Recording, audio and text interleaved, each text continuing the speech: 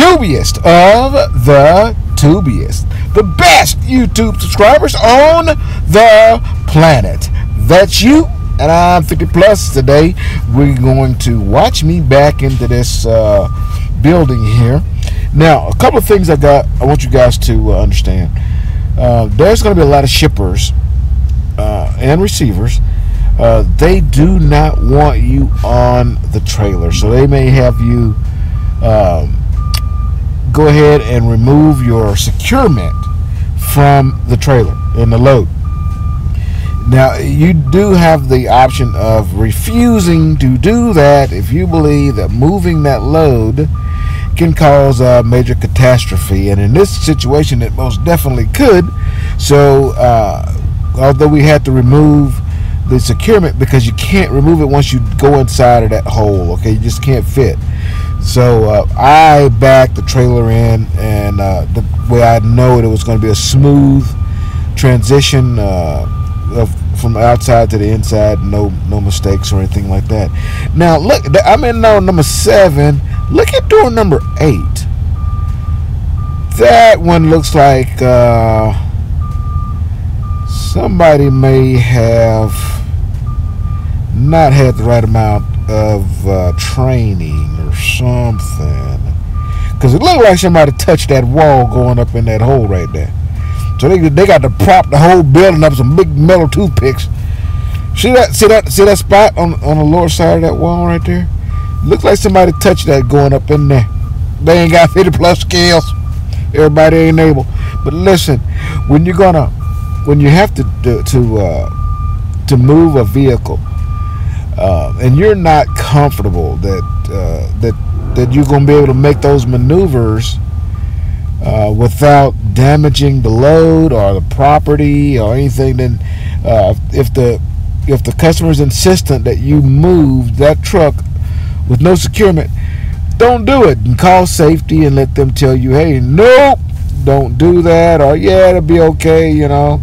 Uh, but uh, you know, make a make a sound decision and and make sure that, uh, as you can see, on either side of me, there's not a whole lot of uh, of room. Okay, uh, so that's the reason why you, they, they want you to unsecure that load before you back in there. As you can see, there's a there's a uh, a wall on the on the uh, what would be the passenger side uh, as we're looking at this, it's going to be our left side. You can see a concrete wall and a yellow framework there, a guardrail.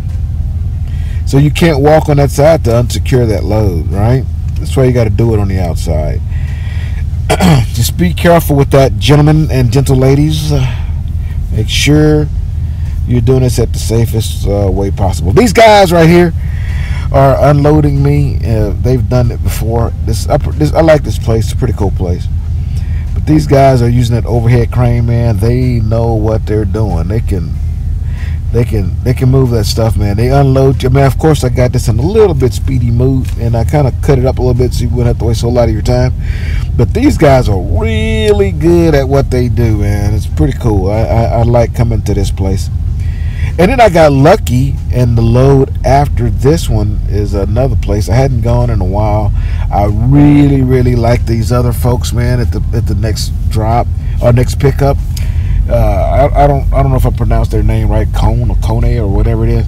They do elevators, and these people are the coolest folks. I mean, I have never going into a to, to going over there or dealt with even job sites their employees that work at that at the elevator place coney coney or whatever it is.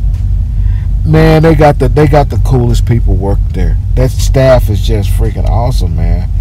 Um, everybody's nice. I don't know man. It's like you know, you step on their toe and they go, "Oh man, uh, I'm so sorry. Uh, is, is, your boot okay? Is, is, your steel toe boot okay? I mean, my foot's broken, but it's okay. I, I want to make sure that you are okay. Can I get you anything? I mean, like, ah, damn. I mean, how that?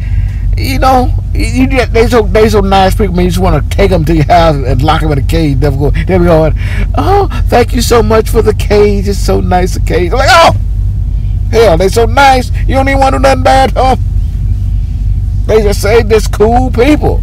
It's a, it's amazing that some of these folks have such good hiring techniques.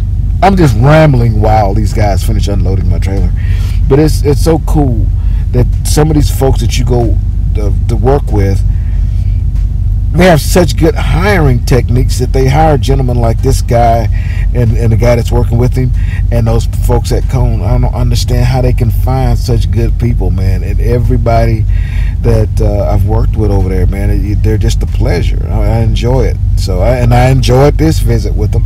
I'm out actually uh, recording this after I've picked up at KONE. I recorded this. I'm making the video after I picked.